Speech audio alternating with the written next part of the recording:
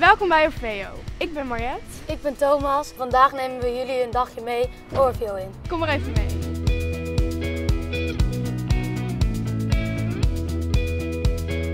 Jij doet TTO, wat houdt dat eigenlijk in? Nou, TTO is tweetalig onderwijs en dan praat je in de les gewoon Engels. Uh, vind je dat Engels dan ook leuk of is het alleen maar moeilijk?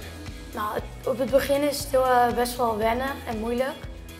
En later wordt het steeds iets makkelijker en makkelijker. En dan krijg je er ook steeds meer plezier in. En je zult er later ook wel wat aan hebben.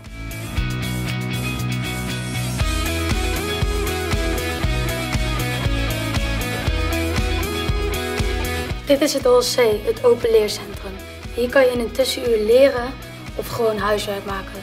Als je een probleem hebt met je magister, kunnen ze die hier oplossen. Waarom is het zo leuk om hier bij Orfeo les te geven? Nou, op Orfeo lesgeven is vooral heel leuk omdat er allemaal hele leuke kinderen op zitten die graag uitgedaagd willen worden. Die kunnen al heel veel en weten al heel veel, maar willen ook nog steeds meer. Nou, dat is eigenlijk het leukste. Wat vind jij nou eigenlijk zo leuk aan Orfeo dan?